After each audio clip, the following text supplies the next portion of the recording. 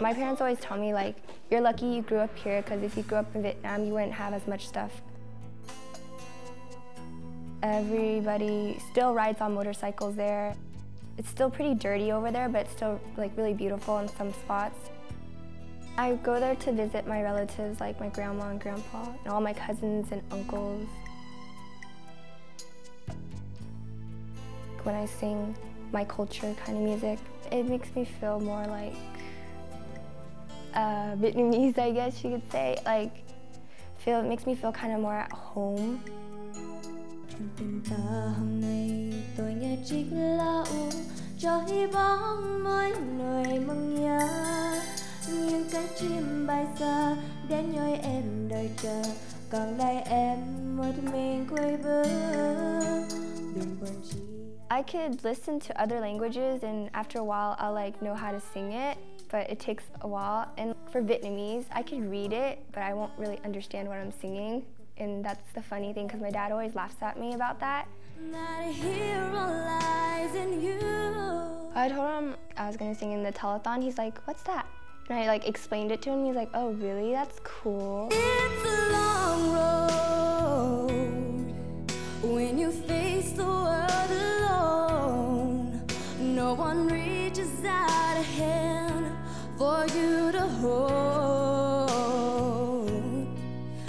found it to be a really good experience.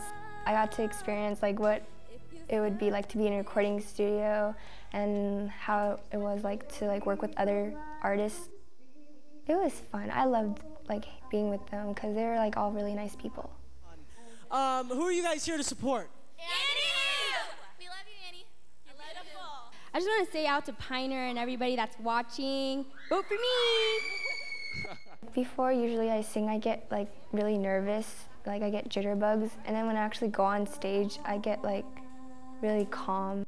I'll get you back here with me.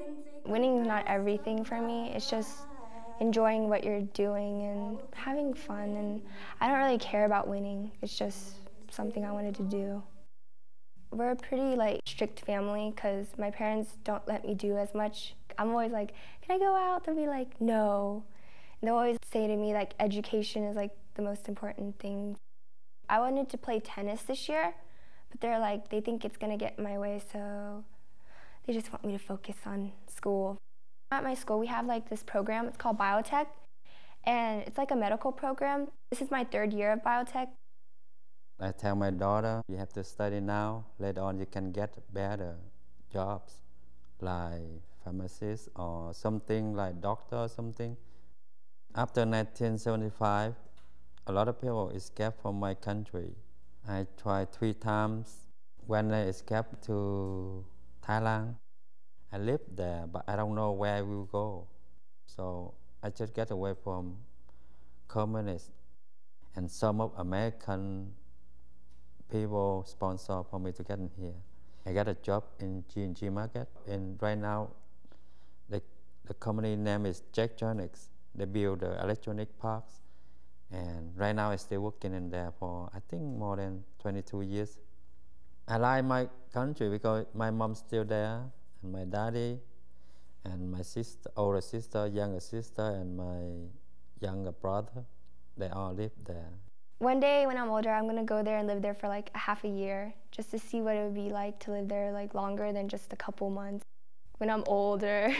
like I want at least two kids. and I just want like a happy, like healthy family that does good in school. Look out for Anny Toe, a sophomore at Piner High School. She'll be singing the song Hero. Anny, take it away. There's a hero if you look inside your